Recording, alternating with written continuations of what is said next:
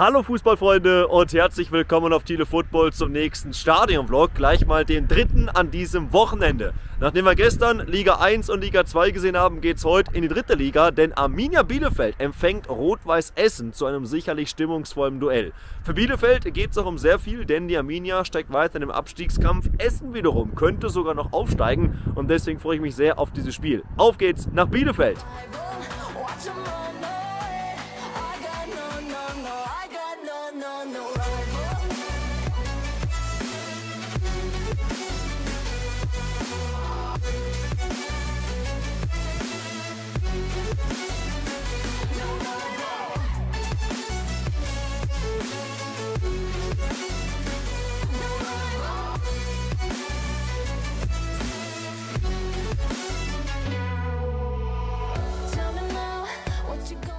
Angekommen in Bielefeld und jetzt direkt mal auf dem Weg zur Alm, besser gesagt zur Schüko Arena. Und dann geht's in einer guten Stunde auch schon los. Jetzt sind wir hier am schönen Bielefelder Siegfriedplatz, Treffpunkt vorm Spiel für zahlreiche Armin. Die Stadtlage ist natürlich schon geil. Und ganz da hinten, mitten im Wohngebiet, sehen wir sie schon. Die Alm. Bin auf jeden Fall mal gespannt auf das Spiel im sportlichen Sinne, denn natürlich verfolge ich Bielefeld auch als Drittligist weiter. Bin bei einigen Highlights dann auch nachher immer wieder mit dabei und schaue mir die sehr, sehr gerne an. Aber Bielefeld hat auch eine sehr, sehr schwierige Situation. Aktuell ist man ja Tabellen 16. Das ist in der dritten Liga nicht ganz so schlimm wie in Liga 1 oder 2, denn es gibt ja 20 Mannschaften. Man hat aktuell 5 Punkte Vorsprung auf Platz 17. Und trotzdem ist Bielefeld durchaus Form verbessert. Das muss man auf jeden Fall ganz klar so sagen. Auf der anderen Seite spielt Essen um den Aufstieg mit. Aktuell ist RWE Tabellen siebter, aber gerade mal zwei Punkte oder zwei Spiele weniger und fünf Punkte Rückstand auf Platz 3. Also die könnten heute nochmal richtig Druck machen. Generell ist in Liga 3 der Aufstiegskampf extrem eng. Das ist wirklich auch rein sportlich betrachtet sehr interessantes Spiel. Aufstiegskampf gegen Aufstiegskampf. Bielefeld letzte Woche ja auch dann ein bitteres Unentschieden gehabt gegen Ingolstadt, wo man kurz vor Schluss noch einen Ausgleich geschluckt hat. Essen wiederum hat das Derby gegen Duisburg deutlich mit 4 zu 1 gewinnen können. Auch heute sind wieder über 20.000 Karten verkauft. Natürlich werden noch einige Essener hier sein. Am Bahnhof war auch schon ordentlich Polizeiaufgebot. Also eine tolle Kulisse ist zu 100% garantiert. Ich freue mich auf eine richtig, richtig gute Stimmung von beiden Seiten. Natürlich aber auch mit einer gewissen Brisanz eben auch auf beiden Seiten dabei.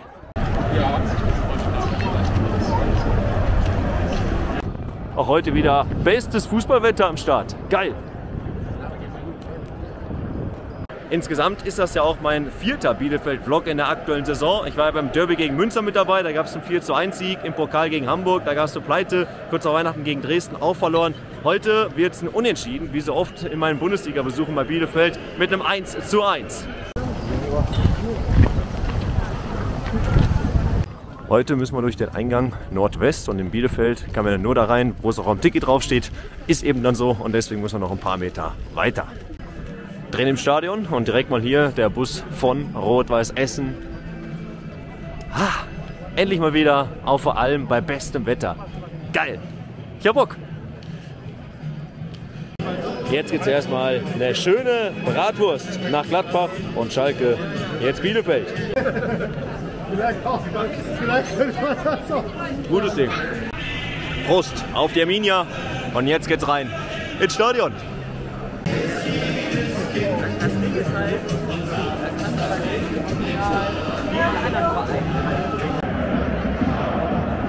Boah.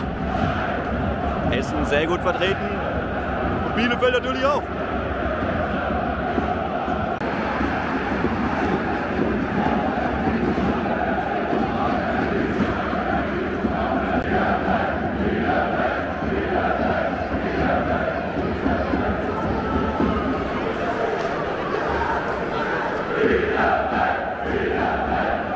Boah, geil. Unser Platz ist auch direkt hier über dem Eingang. Auf jeden Fall eine ganz coole Sicht. Relativ viel Beinfreiheit. Und dann haben wir hier den Gästeblock. Und da die Bielefelder Kurve. Boah. Ah, da ist Feuer drin.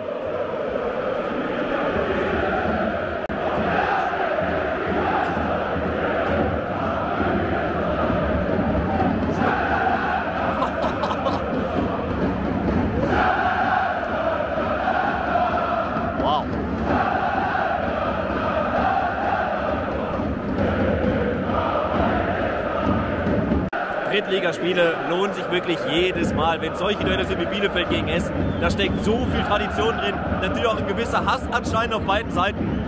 Ich habe jetzt schon Bock hier zu sein und gleich geht es dann auch in einer guten Viertelstunde los.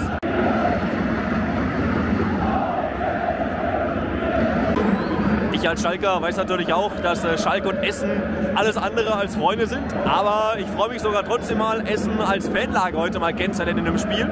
Hatte ich bislang auf jeden Fall noch nicht. Auch RWE natürlich ein Traditionsclub pur mit dem Stadion an der Hafenstraße. Auch da würde ich mal ganz gerne hin. Mal gucken, ob das vielleicht in der kommenden Saison was wird.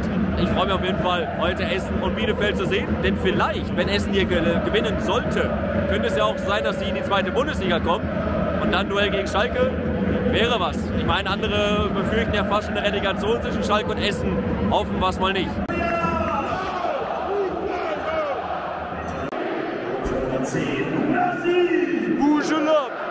Schalke heute erstmal auf der Bank.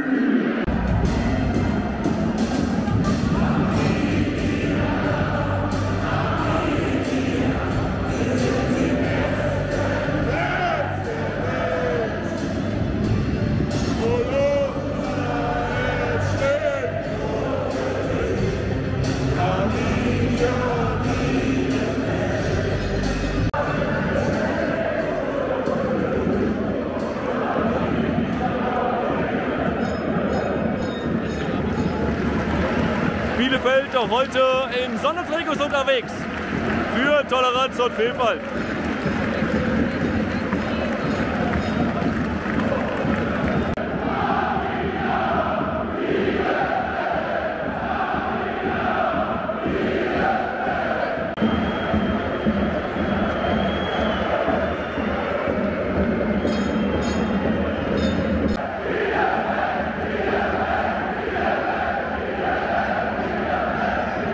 Nach den letzten sehr, sehr harten Jahren hier wieder in Bielefeld entstanden ist zwischen Fans und Mannschaft, ist wirklich vorbildlich. Wow, Respekt.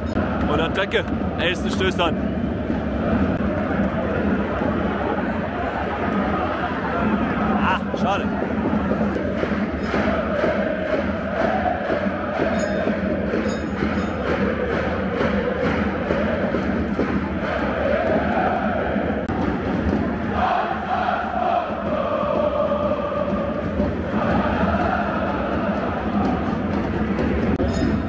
Jetzt erstmal einen schönen Crepe hier in Bielefeld. Zur Abwechslung an diesem Wochenende mit viel Bratwurst mal sehr angenehm. Kann ich so einfach Crepe essen und filmen? Ja, war ganz gut.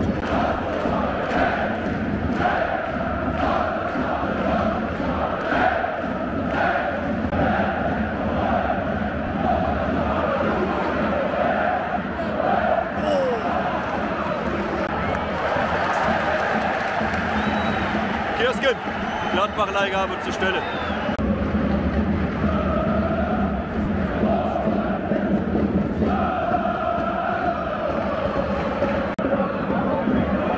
Ah, schade.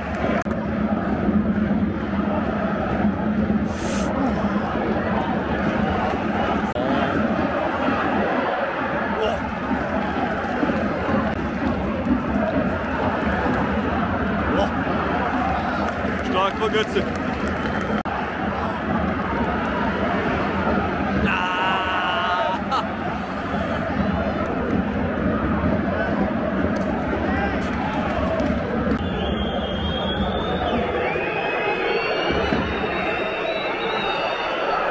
Oh. Halbe Stunde rum, relativ torarm bislang durch das 0-0. Beide Mannschaften wollen, aber beide können noch nicht so richtig. Da muss sicherlich ein bisschen mehr Risiko her.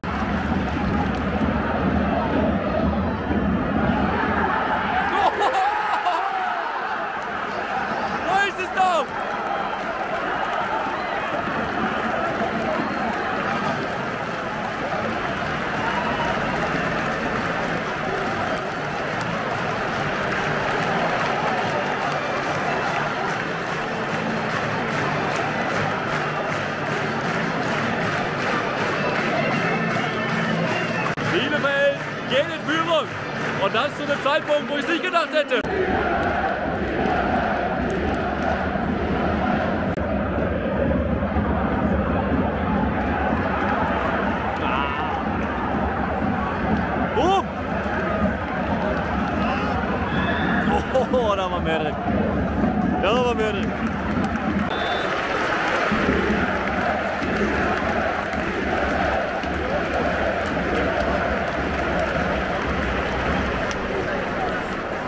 Pause in Bielefeld und die Arminia führt mit 1 zu 0. Das wäre natürlich Stand jetzt ein wichtiger Schritt in Richtung Klassenerhalt, aber es sind eben auch noch ein paar Minuten zu gehen. Essen kommt es auch noch nicht so richtig vors Tor. Ich glaube, das ist auch das mitgrößte Problem. Ansonsten war es nämlich im Großen und Ganzen ein schon eher ausgeglichenes Spiel. Also im zweiten Durchgang mit bei Risiko gehen, das öffnet Räume für Bielefeld. Das könnte nochmal richtig interessant werden. Ganz interessant für alle Essener unter euch. Neben uns sitzt direkt Markus Stegmann, Direktor Profifußball vom RWE. Mal interessant, so einen Fußballmanager neben sich direkt sitzen zu haben, der ordentlich mit dabei ist, emotional gesehen. Ja, mal gucken, ob der in der zweiten Hälfte auch nochmal jubeln darf. Bei Essen haben wir auch noch einen ehemaligen Schalker mit dabei. Felix Wienand hat für uns von 2016 bis 2022 im Tor gestanden im Jugendbereich und mittlerweile eben dann bei Essen die Nummer 2. Ja, weiter geht hier im zweiten Durchgang. Zweite Hälfte läuft.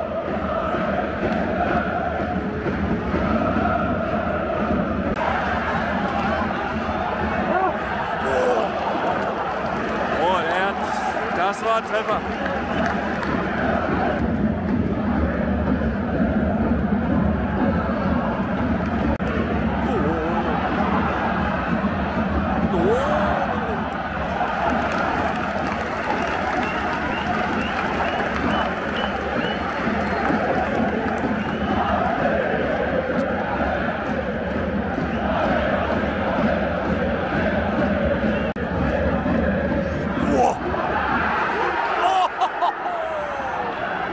What? Wie geht der denn nicht rein? Dicke Chance für Bielefeld aufs 2-0, die echt gut rauskommen aus der Kabine mit sehr viel Schwung nach vorne. Bielefeld will das Tor und da hätte es fallen müssen.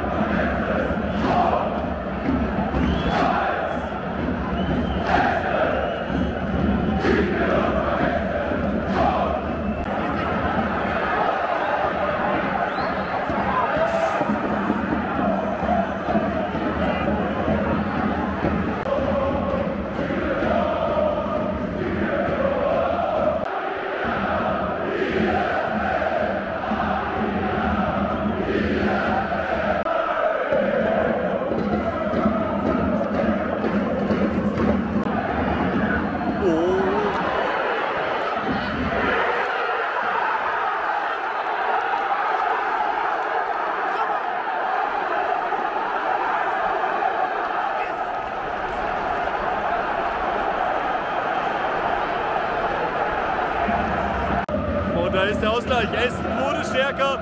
Essen hat mehr Druck gemacht und dann rappelt's.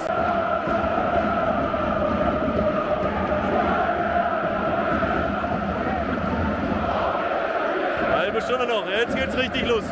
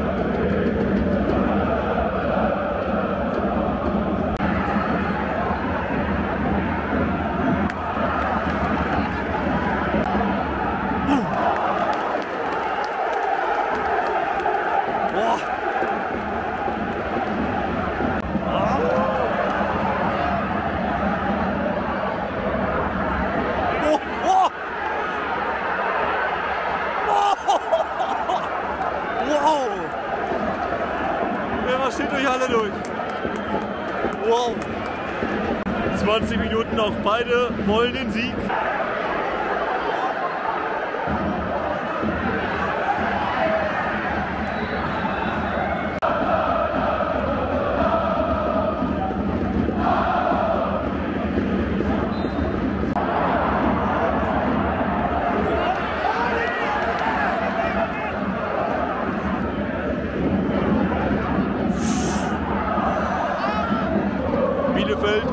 Offensivpower und jetzt kommt Nassim Bujelab, ehemaliger Schalker.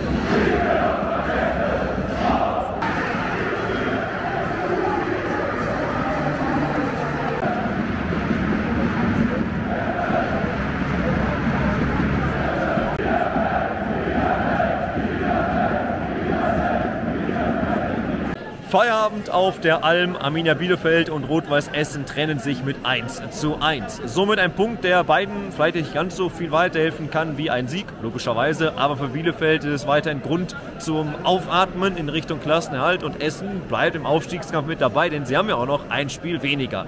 Ansonsten hat es echt mal wieder Spaß gemacht, in Liga 3 vor Ort zu sein. Natürlich siehst du ja keinen Jaden Sancho, du siehst kein Harry Kane oder auch ein Grimaldo, du siehst aber dafür, ich will jetzt nicht sagen ehrlichen Fußball, den Begriff mag ich persönlich nicht, aber du siehst Fanlager. Das ist wirklich beeindruckend, was da mit dabei ist für eine Tradition, für eine Power. Und das macht immer und immer wieder richtig Spaß und das soll es auch in Zukunft auf Tito Football einige Male geben. In dem Sinne könnt ihr mal gerne eure Meinung zum Spiel und zum Vlog in die Kommentare schreiben und dann sehen wir uns im nächsten Video wieder. Macht es gut, ciao und bleibt am Ball. As long as you tell me Thinking about all the things we did tonight. What a time to be alive.